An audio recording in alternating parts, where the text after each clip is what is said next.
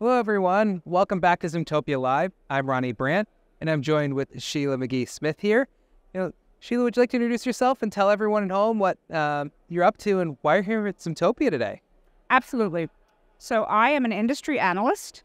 I've been covering the contact center space full time since 1990. All right. It's, it's interesting to think of Zoom as one of the most recent entrants into a market, but I've been watching for that for so long. So it's an exciting change. So I'm here to learn how much um, has progressed in terms of the, the contact a solution from Zoom, announced in March of 22, right? Not that long ago, 18 months ago. So here to learn more about it. And, and I've been at Zoom about a year now or so, and before I've also been in like the CRM space and customer service space as well. And to see 600 plus features in 18 months go to a robust CX suite, it's super exciting. So I'm wondering, what is it that you've gained, at least from your day here at Zoomtopia, and what are some of the impressions that you want to share with the audience at home as well? So it's interesting. You know, both of us have been in this market for a while. Two years ago, we wouldn't have come to a conference where the theme was artificial intelligence, where everything was really presented in terms of artificial intelligence.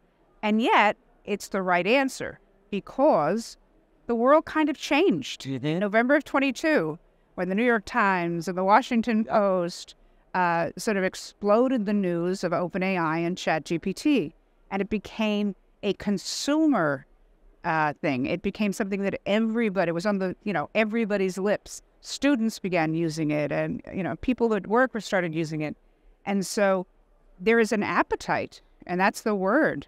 Uh, in fact, I was at a session earlier today, a contact center session about the next gen contact center, and a, a customer of Zoom was speaking, and he said, "We have an appetite to add artificial intelligence to our operation." It's funny. One of the things that I have heard is CXOs, meaning CEOs and CIOs and CMOs, are giving objectives to the people who work for them to say, find ways to incorporate generative AI into your business. Why? Because we think it'll help people work more effectively and perhaps will lead less people to do the same amount of work. It's interesting. Uh, you mentioned something in there around generative AI and exploding because it's a consumer technology. And many times in the B2B space, those consumer technologies cross over and drive adoption and drive attractiveness for employers to attract uh, their employees to stay and keep them happy. So, how do you see AI playing out as a way that it'll help employees get their job done, but also help employers reduce churn, in particular in contact center? So, there's, I look at three different areas where Gen AI is impacting contact center. The first is directly with consumers, right? And and customers calling in and needing help of a con- contact center, right? And that first step is is automation. We've had chatbots, we've had text bots. They've been varying levels of good, right? And now we have a technology that easily makes it better, right? So let's give an example of how Gen AI makes a chatbot better, right? So if you had a chatbot set up to say, I want to buy something from 7 Eleven, right? Think about all the individual way, things that you would have to train that bot to know in terms of how many things you could potentially buy at a 7 Eleven and how easily it would to be to break it, right? Like, I remember uh, breaking a, a, a bot of somebody's by asking for a Pellegrino. Well, it knew sparkling water and it knew some other sparkling waters, but it didn't know Pellegrino. What ChatGPT or any sort of large language model, Gen AI model, allows you to do is get all of those intents, right? You don't have to sit there with a list mm-hmm. and, and figure out what every single one was. And that's where we were a year ago. I mean, it's pretty extraordinary.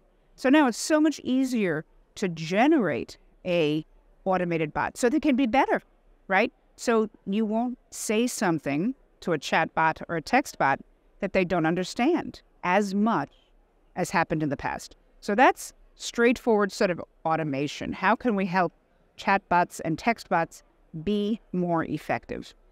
Next step is how do we help the agents be more effective? How do we help agents? And another, again, another example. One of the first applications that's become so prevalent uh, post Gen AI is summarization of interactions. So I, I know I have been on the phone with agents, and often if it's the second or third time I'm calling about an issue, I'll stop and I'll say, let me give you a moment to read the notes. Mm-hmm. To find out now, in this world where we can actually automatically do those summarizations, I've heard call center managers at very big brands say, we weren't doing summarization. We had no program for it. So when I was asking some poor agent to read the notes, there were no notes. And that's why we've had that issue of everything being asked over and over and over again, right? It's one of the big drivers of dissatisfaction from the customer base. It's uh, one of the reasons that in some of the biggest industries, whether it is in telecommunications or in home services or even just repairs, why there's such dissatisfaction with the service. It's not because it's bad quality product, it's just frustration in some of the process for the customer. So when we think about that specific auto summarization, it's been announced here at uh, at the show that that's going to be available now for contact center customers of Zoom Contact Center. So that's very exciting. But the other um, agent-facing kind of Gen AI that's also coming along is Agent Assist. Mm-hmm. So you didn't handle it in a chatbot. It's too complicated, right? There's no way a chatbot could understand it. You need a person, right? I, I remember I was uh, I was on a call with a with an agent talking about something, Mhm. and I pivoted. Right, I was talking about one thing, and then I pivoted to something else, and this agent wasn't able to pivot with me, right, because they hadn't been trained on the second thing I decided I wanted to talk about. Think about AI expert now, an agent assist, being able to help that agent in the moment pivot right? So that you don't have to stop and go find the information and you don't have to try and transfer the call. So we're helping. You, you talked about how do we improve agent satisfaction, right? How do we reduce churn? If you have a situation where an agent feels frustrated, where they they want to help, they want to help customers, right? And if we're constantly putting them in a position where they can't, they're going to be unhappy and they're going to leave, right? Mm-hmm. So, a great example of how we're going to help agents get over some of that frustration by feeding them the information they need at the time that they need it. Okay. So, customer facing, agent facing, and I think a lot about the back end of it, right? How Gen AI is helping develop applications faster. You talked about it 600 features of Zoom Contact Center in 18 months. Some of that is driven by new tools for developing applications, right? But it also extends to how quickly can a customer deploy a generative AI application? How quickly can we do a chat bot or a text bot? We can do it faster now. Why? Because we can use better tools to do it. We don't have to sit there and write down every single intent and think of them. So, three different areas. That is some really great insight, especially as um, our customers out there are thinking about how do I structure my call center? How do I help my agents help my customers? How do I help my supervisors help my agents? And you're speaking here at Zoomtopia. So you're about to go up onto your panel. I'm curious, like, what are some of the things you want to share with the audience, and what are you going to talk about on it today? So the, the things that we're talking about in the panel, first of all, we have Amy Roberge with us, who is the head of solutions consulting for contact center here at Zoom, and she's a great resource. And so we're going to be talking about, you know, how do you incorporate Gen AI? What are some of the, the examples? Uh, in fact, I think you also interviewed Juanita Coley, and she's going to be on this panel as well. So we're looking forward to, you know, answering questions as much as anything else. But I think Juanita's really going to take it down the path of where does AI fit in workforce management and in quality management. So it's interesting. We've decided to take three different points of view with the three different panelists. I'm going to take the point of view of a CXO. What are we? What is a CXO looking for? Mm-hmm. And then Amy's going to take it from the perspective of the CIO. And what are they looking for?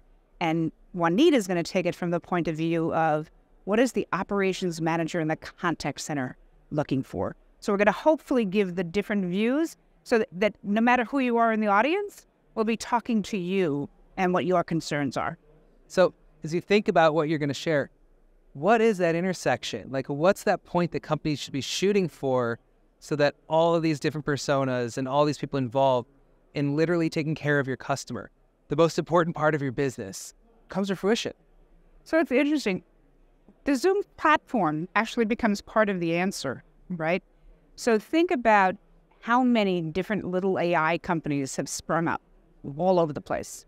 So I'm a company and I want to start incorporating things into my contact center, and I don't know how to choose an AI vendor.